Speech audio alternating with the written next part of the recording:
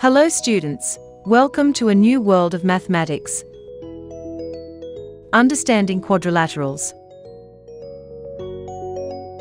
When you look around, there are different shapes around us. Have you ever noticed the road going through mountains? How does it look? Curved. Exactly, these roads have a curved shape. So, today we will be dealing with curves. Wait. What is this pencil doing here? It's a curve. Try to recall different varieties of curves we studied in the previous classes. The curves are mainly divided into two. A simple curve and a closed curve. What's the difference between these two? A simple curve, as the name suggests, is simple. It can be defined as a curve that does not cross itself. Can you find some examples?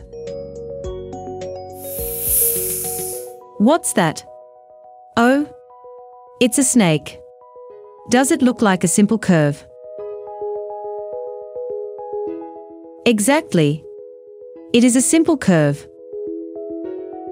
So what does a closed curve mean? A closed curve has no open ends. The outline of a flower and its leaf are examples of closed curve.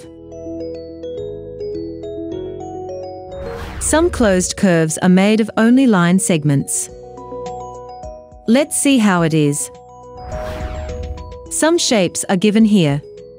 What do you observe from these closed curves? They are made of only straight lines, and these are called polygons. Can you find some examples? Rectangle and pentagon in a signboard and star are some examples. We can classify the polygons according to the number of sides. A three-sided polygon is called a triangle. A four-sided polygon is called a quadrilateral. A five-sided polygon is called a pentagon. A six-sided polygon is called a hexagon. And an n-sided polygon is called an n-gon. Consider a polygon and draw a line from one vertex to another that is not on the same line segment. This line is diagonal. That is, a diagonal is a line segment connecting two non-consecutive vertices of a polygon. Now, let's classify the polygons according to the measure of angles and sides. They are concave and convex polygon, regular and irregular polygon. Let's have a comparison between convex polygon and concave polygon. In these figures, the diagonals pass only through the interior part of the given polygon. Here all the angles are less than 180 degrees. So, in a polygon, if all the diagonals lie in the interior part, or all the angles are less than 180 degrees, then it is called a convex polygon. Example Squares on a chessboard. Hexagon on a honeycomb. Here, some part of a diagonal passes through the exterior part of the given polygon. At least one of the angles is greater than 180 degrees.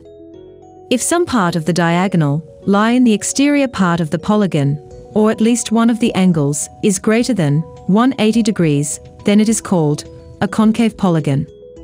Example Head and the tail of an arrow.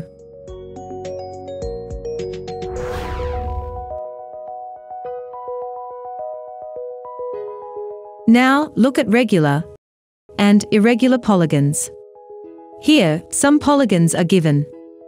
Let's compare each side and each angle of them.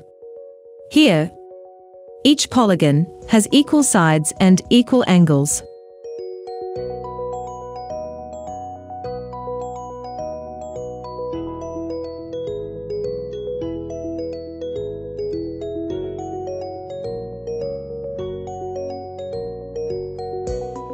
Such polygons are called regular polygons.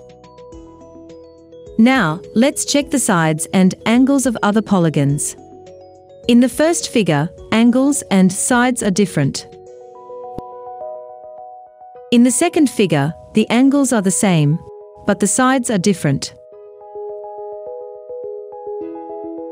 In the third figure, the sides are the same, but the angles are different. So, these polygons are called irregular polygons. Can you find some examples from the surroundings? The face of a Rubik's Cube and octagon on a stop sign are examples of regular polygons. A SIM card and a sketch of an irregular land are examples of irregular polygons. Let's have a quick revision. Today we saw what is a curve and the types of curves. Then we went through polygons, their classification depending on the number of sides and measures of angles and sides. Before winding up today's session, I will give you an activity. Identify the following from the figure.